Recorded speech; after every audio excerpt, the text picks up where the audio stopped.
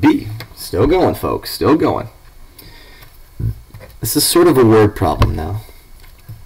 I'd like you to find the surface area of a sphere if the circumference of the great circle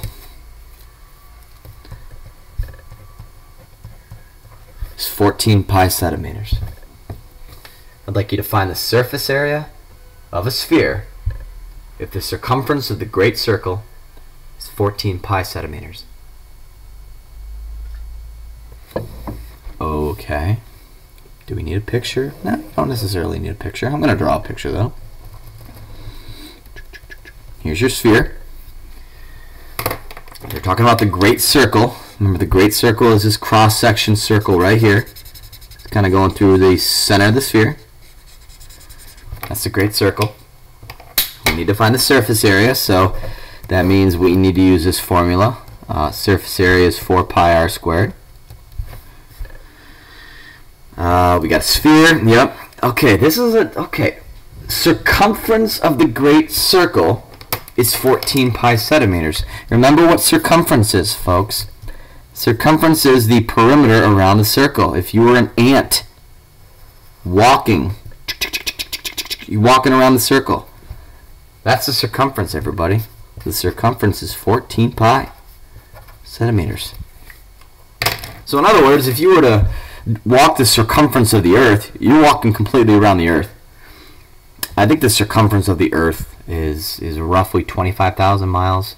Um, you know, give or take a couple hundred here. But if you were to walk, you know, from Valparaiso, Indiana, and you were to walk completely, you know, through the Atlantic Ocean, Europe, Asia, Pacific Ocean, all the way back to Valpo, it'll be about 25,000 miles. Um, anyways, okay, so we got to find the surface area. It's a sphere. We know the circumference is this. Okay, so let's let's find the surface area. Surface area is 4 pi radius squared. What's our radius? We don't have a radius. They don't tell us a radius in this problem. Darn it. I guess we just can't do this problem, folks. okay, this is when we need to do some thinking. Where's the radius, and how do we find it? Well, th there's got to be a reason that they gave you this information here. And hopefully you remember your two other circle equations from chapter, I want to say it was chapter 11? Circumference equation and area equation. The area of a circle is pi r squared. The circumference of a circle is pi d. You're going to use this first one. We're not going to use this second one. Alright, so if the circumference is 14 pi, let's go ahead and plug this in. Let's do some substitution.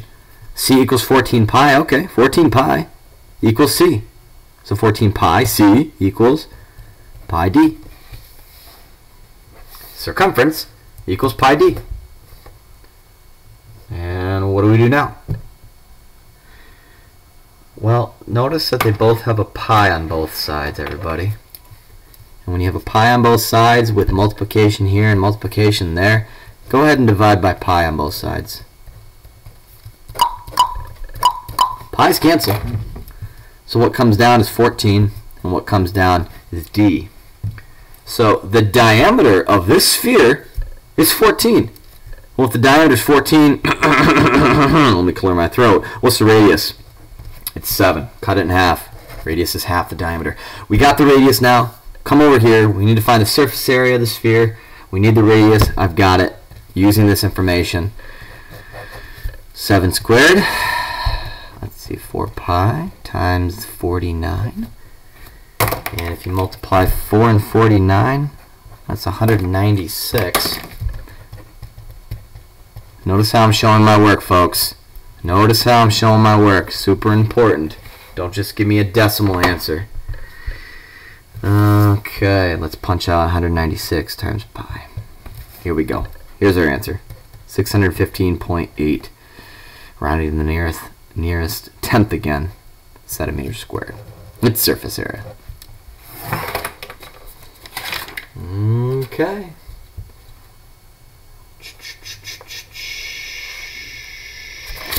You know what? I think this is the last one. Yeah, this is the last one. Thought I had more. I do not. I'd like you to find the volume. I'm just going to put V of a hemisphere. Half a sphere. Cut a grapefruit in half. Find the volume of a hemisphere if the area of the great circle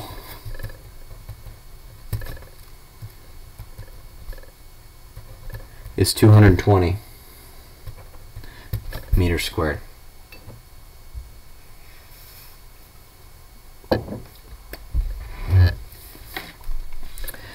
Let's draw a hemisphere, everybody. And I'm going to draw a hemisphere from the bottom up. So don't draw this line. Draw this curved bottom, and then it's kind of like you're seeing the inside of the great circle right there. That's what I'm going to draw.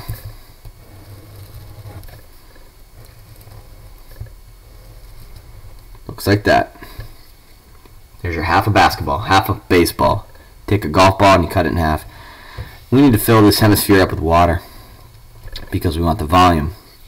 So we're going to need the volume equation of a hemisphere.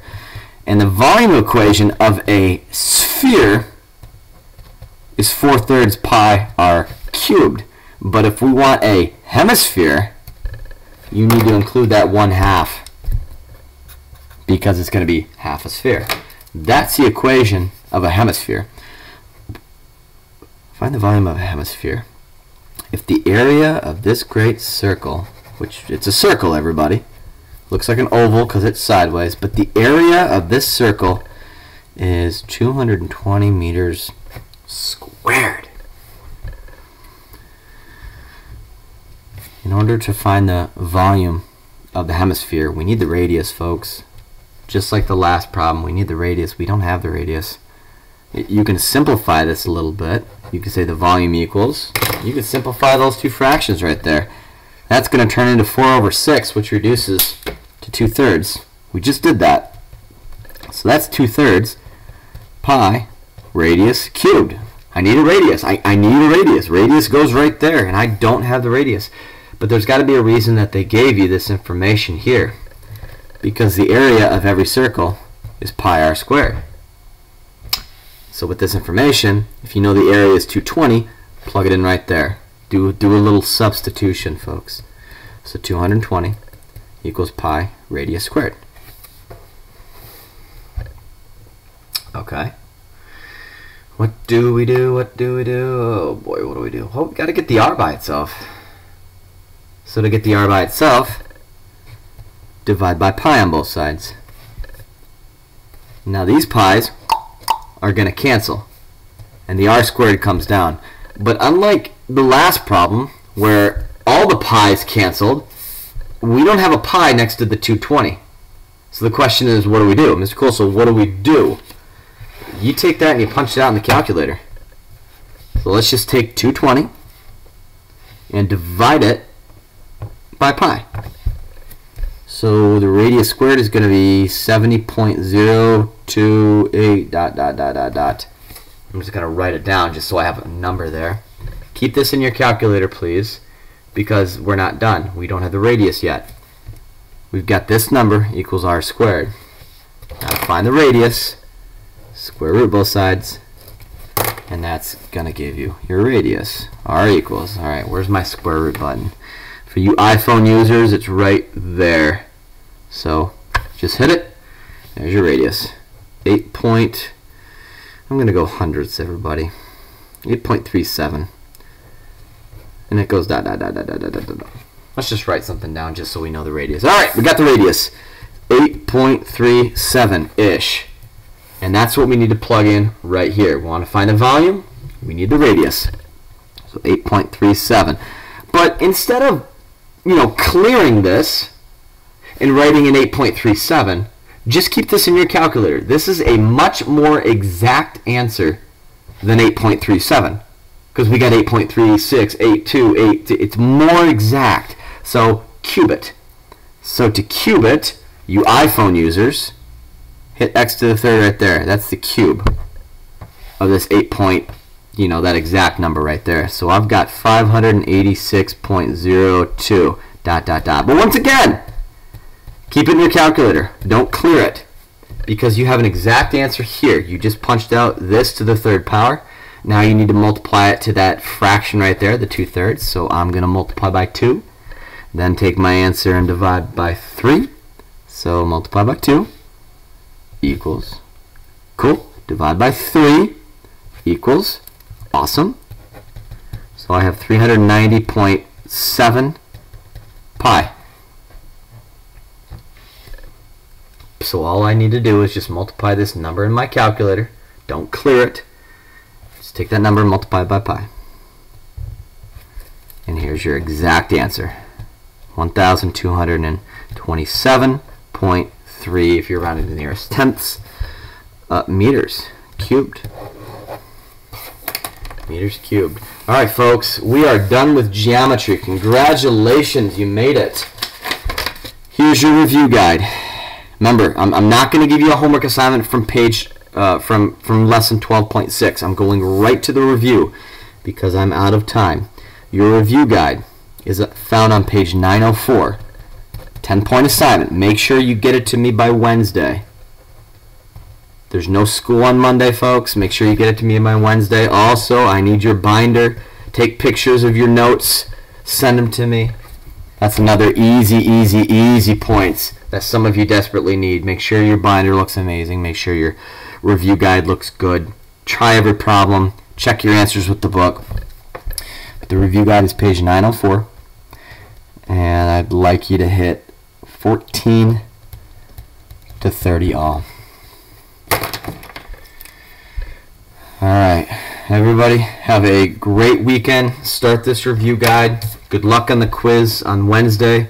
And uh, I, I, guess it's the appropriate time to say have a great summer and we'll see you next year. Uh, if you need anything from me, shoot me an email. Um, ask me for some help if you need be. But uh, it's been a good year for everybody, and uh, I've, I've enjoyed teaching you in school. And weirdly enough, I've enjoyed kind of teaching through this e-learning. Um, although this is not the best way to teach, um, you know, given what we've got, this is what we have had to work with. So it's been a pleasure. Uh, hopefully you got something out of this class that will make you better for next year when you jump into Algebra 2. So any questions, feel free to get a hold of me. Uh, take care, everybody.